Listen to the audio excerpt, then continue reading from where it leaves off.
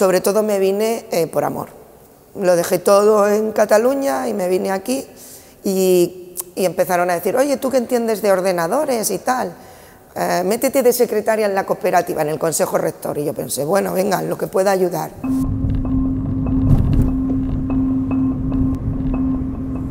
Nosotros tenemos un eslogan que es esperanza en la siembra y alegría en la cosecha. Estamos sembrando y nuestro horizonte es que esto vaya en progreso para que la gente joven se ilusione, se quede, forme parte de esto y vaya para adelante. O sea, ese es nuestro objetivo y por lo que nos movemos.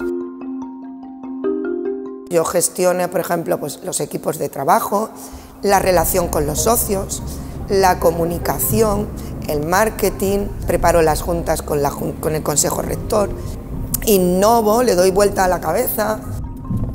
Trabajé durante mucho tiempo en medios de comunicación, trabajé en protagonistas, en TV4, en Super Pop. Me ha gustado mucho la radio y luego escribo.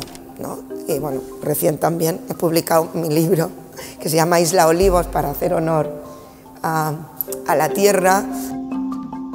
Nosotras, justo esta asociación que tenemos, de Asociación de Mujeres Cooperativistas de España y de Andalucía, es para promocionar la entrada de las mujeres en los órganos de decisión y eh, los jóvenes, porque es otra perspectiva y porque hemos comprobado que en aquellas cooperativas donde hay mujeres eh, hay más beneficios. Vamos a otros ritmos, ¿no? pero no por eso tienes que dejar de seguir tu ritmo ¿no? Y, no, nunca tirar la toalla, aunque a veces la tirarías, cogerías las maletas y te irías, pero por ahora no.